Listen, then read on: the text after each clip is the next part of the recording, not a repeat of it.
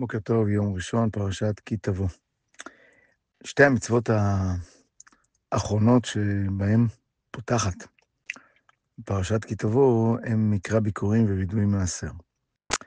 חלק מהמצוות, חלק המצוות שבמשנה תורה מסתיים בשני עניינים.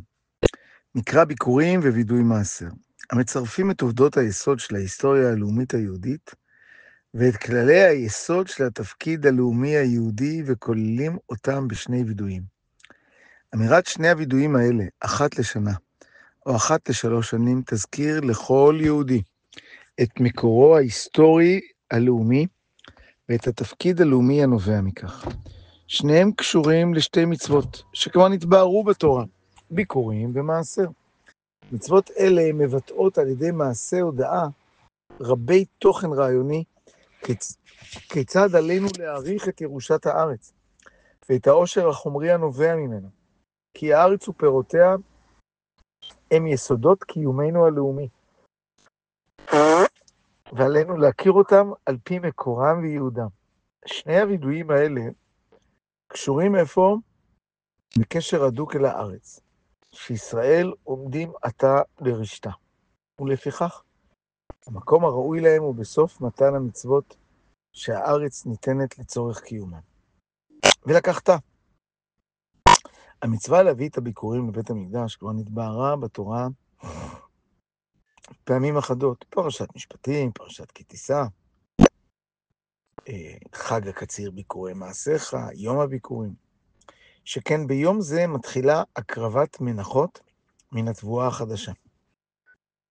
וכן העלאת הביקורים. כבר נתבאר לאל שמצווה להעלות את הביקורים אל המקום שנבחר בידי השם, ואסור לאכול אותם מחוץ למקום הזה. אז אם כן, זה כבר נאמר כבר קודם.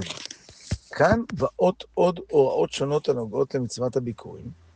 ביצוע הוראות אלה, עד כמה שהן פשוטות, הופך את תבואת הביקורים לתנועה לאומית גדולה, המתקיימת בהתרוממות רוח של שמחה, והנמשכת בכל שנה בחודשי הקיץ, מחג שבועות ועד חג הסוכות.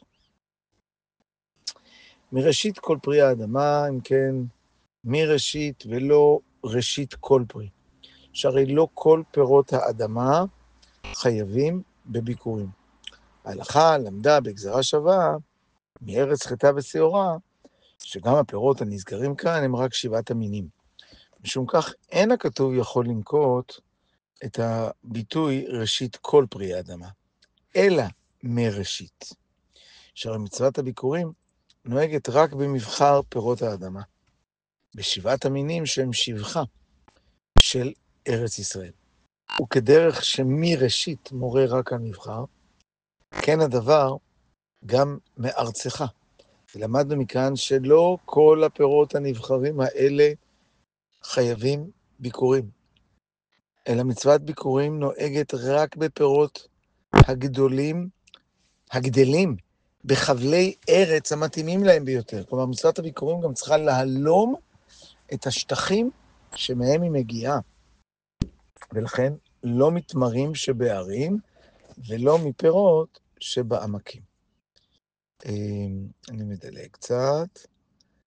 אמ, רק שבעת המינים, שהם שבחה של ארץ ישראל, ורק הסוגים המובחרים שבהם חייבים בביקורים, שהרי פירות אלה מייצגים את ארץ ישראל ביד המביא, והם מגידים שהוא בא אל הארץ שהובטחה לעבוד. מובן שרק הפירות שבהם, שבהם אופייניים לארץ ישראל, ורק הסוגים שהם משובחים, שהם יצלחו למטרה הזאת. אוקיי? אמ, יש כאן מעניין גמרא שהרב הירש מביא משהו שנוגע לדף אמ, היומי, שההבאה והבציר וההבאה צריכים להיות בידי אדם אחד, ואם אה, היה שליח באמצע, אז אה, הוא פטור, מ, אה, פטור מהקריאה. מעניין למה זו הלכה חשובה ביותר. הוא כאילו בא ואומר שמצוות הביקורים מבטאת את הרעיון שביקורי פרי אדמתנו אינם מבשילים כתבואה לצורך ביתנו. אלא הם מבשילים לצורך בית השם. צורך בית מקדש תורתו. על ידי כך, מצווה זו מטפחת את ההכרה ואת ההודעה שהסיבה הראשונה לברכת אדמתנו היא רצון השם. ואילו חריצותנו וסיוע ההשפעות הפיזיות הם רק סיבה שנייה. ובכן, לא רק ההבאה החיובית למקדש התורה, אלא גם הלקיחה השלילית מאדמתנו. ולכן צריך שהלקיחה תהיה לצורך ההבאה. מעניין. שלום, שלום.